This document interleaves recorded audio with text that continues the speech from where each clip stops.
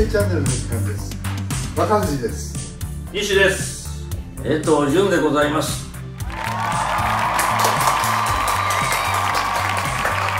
本日は江藤潤さんにお越しいただいてます。ありがとうございます。よろしくお願いいたします。お願いします。あのこの目の下のこのほくろがジャムポイントでね、うん、デビューした時にこれもちょっと邪魔になるんじゃないかみたいなことがあって取ろうかなんていう話もあったんですよね。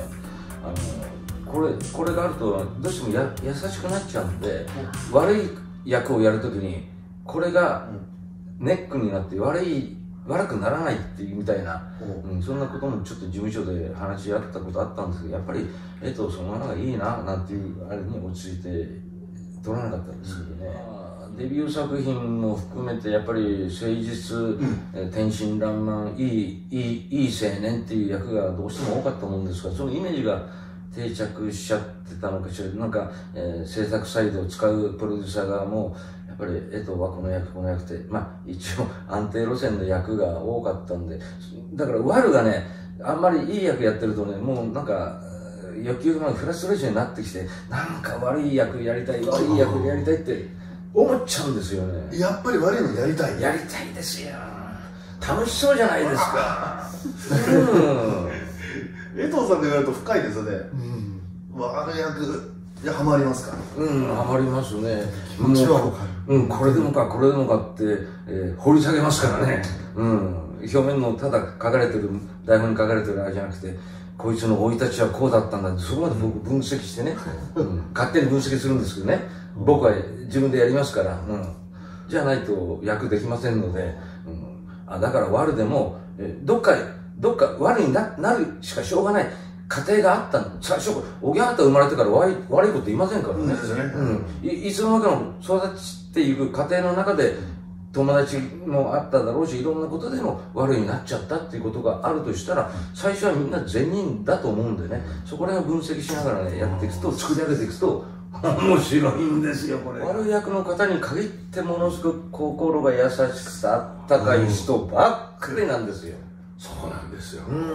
僕はあの寅さん大好きで。男は辛いよ。はい男はつらいよ。あの第25作目。フはい。ァンの間でもいつも投票で1位になるハイビスカスの花、はい。沖縄の青年で出られてますよね、ええやりました。たかしっていうはいやつなんですよ、また。ちょっとあの、浅岡瑠璃子さん演じるリリーに惚れてて、ね、うん。ちょっと寅さんと火花がつって、はいはい。一番ね、江藤さんが、じゃないとできないなと思うのは、寅さんが、う沖縄暑いなとても人間が住むとこじゃねえよって言ったら、ん。怒るんですよねね。うん。ドア開けて車の、うん。降りろって、うん。寅さんに、うん。沖縄の悪口言うやつ降りてくれみたいな、あれがねなんかぴったりなんですよ。本当に沖縄を愛してて腹立ったんだろうなと思って、うん。うん。トラさんすぐ謝りますよね。ごめんごめん悪かった悪かったって、うんああれなかなか演じれる方ないかもしれない。いやまあそれは何とも言えないんですけどあの僕はあのハイビスカスクランクインするときにあの山田洋次さんからは監督からあの沖縄の資料を3冊4冊ぐらい写真集も含めて、い。はまあ、沖縄の青年の役なんで、えーちょっとこれ江戸君これ見てちょっと勉強しといてくださいって言われて、えーどこまで勉強できたかはともかくとしても沖縄っていうのはまた違った場所でど独特の、えー空気感あるところなんだよねっていうふうには監督から言われてたもんですから、そこら辺ちょっと、うん頑張って、えーやってくださいみたいなことで、えーお勉強ささせていただいたんですよね。作品に挑まれる時はやっぱりこう下準備とか勉強されて入られる？そうです。基本的には僕だけじゃなくて他の方もやられてると思うんですけれどまあ渥美さんは達者な方ですからでどこまで渥美さんなのか虎なのか分かんないような現場がねうんうん。だけど渥美さんプライベートの渥美さんっていうのはもう静かな人でずしし静かにしてる人ですね。だけど普段はプライベートはそうなんだけどいざあのセットの入ったあのトライになるともうあのテンション。いはいうわー元気っていうのはびっくりしちゃうんですよね。だからすごい、うん、使い分け使い分けっていうのは変だけれど「あいあい OK」っつったらやっぱりまたその場でおってなりますね、うん、でやっぱり考えてるんですね全部ね芝居のね、うん、寅さんの渥美さんの芝居の作り方取り組む姿勢っていうのが、うん、まあ渥美さんしか真似できない感じなのかしらね。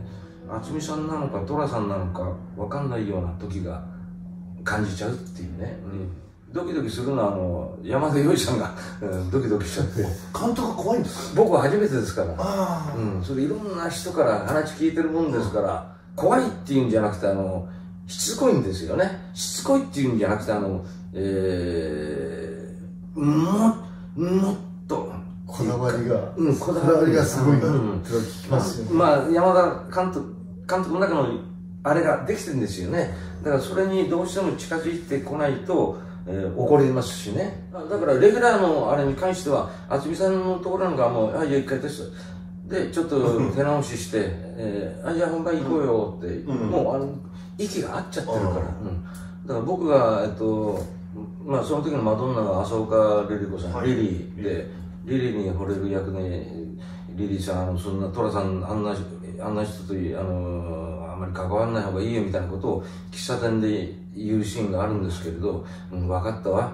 高志君の言う通りね、じゃあ私も高志君の見習って、えーあの人とはちょっと疎遠になっていくわ、みたいな。疎遠になるとはないけど、うんそんなこと言った時に高志が嬉しくなって、あ、リリーさん、僕の気持ち通じてくれたって嬉しくなった部分で、思わず、うーん、あ、えー、おばちゃんコーヒー2つっていうシーンがあるんですけど、35、6回やらせるんです。あ、そうなんですか。違う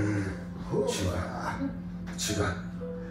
やっててねもうどれだかをどれがどれだか分かんない、こういう立ちってこれ一言だけなんだけどね、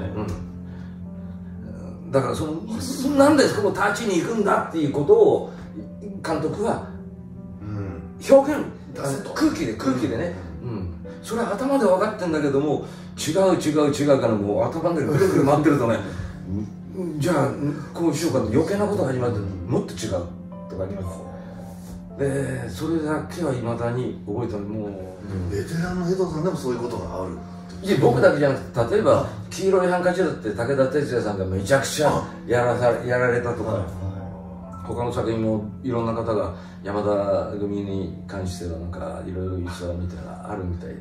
じゃあ山田監督の作品はそういうことがあるといううん。ことですね、そうです。それ聞いてたから聞いてたから。えやっぱりドキドキドキドキしますよね。でやっぱり35回来たいやそうです。長い俳優人生の中でその後山田監督さんと組むことは終わりだったんですか、えーっと山田監督とはないですね。ない。うん。現場ではないですけれど、違う箇所では、えー、とあったりはしましたね。あああどうも久しぶり。あどうも江藤君元気？とかっていうそういうのはありますけれど、うん。現場はハイビスカスだけでした、あうん、ー。うん。またやりたいなとか。ま まあいろいろ。あねまあうんまあ何でも経験ですから、うん。まあ一回経験すればいいかなと僕は。あの監督もおっしゃってましたけれど、やっぱりトラもリリーもあの流れ物。はい。流れ物っていうかいわゆるあのヤクザものですよね、うん。だからいいんだよねって、うん、だからあの時でももう一緒になるような話。はい。いつくっついてもおかしくないもんねリリーとトラはね、うん、だけどやっぱり一番監督としては描きやすいこの二人の関係性のあり方が、えー描きやすい楽しく描けるっていうのは、あ現場でも言ってましたね、リリーはいいなって、うん。やっぱり今でもその時の、まあ、NG35 回6回っていうのは生きてるんですか、うん。えいやまああのそれは自分の中に肝として肝肝に銘じる状態でのあれでは、えー生きてますね、うん。だからそういうシチュエーションシーンがあったとしたらあこういうこれだよなっつったらすぐ一発 OK になりますもんね、うん。そういうシーン、うん。うん、やっぱりも揉まれた分赤としてついてますね、これからね、うん。役者を目指してる方も多いと思うんですよ、うんうん。役者としてやっぱりこれだけはちょっとあのやっといた方がいいとか心構えとか。なんかあればアドバイス的なこともあれば含めて俳優をまあ目指すっていうかそういうことによっていろんな現場がありますんでいろんな瞬間もあるんで、えーそういう時絶対に腐らないでねめげずにあの自分でハイになる明るくなっていくような気持ちをいつもお怒られてもあ怒られてるのはこれは俺の勉強なんだって怒られてシューンってななるんじゃなくて怒られたことであ怒ってくれてありがたいっていうふうなそういうふうな転換っていうかな気持ちの持っていき方っていうかそうするとうーんいろんな現場にまた巡り合うことができるんじゃないかなと思います。そこで投げ捨てたん投げ捨てるんじゃなくてね。うん。それぐらいしか僕は言えないですね。ありがとうございます、はい。まだまだねお話を聞きたいんですけど本日はまあこの辺ということで。あはい。はい。ぜひまた「えー、ゆうせチャンネル」お待ちしておりますので、はいします、はい本日はどうも。ありがとうございました、ありがとうございました。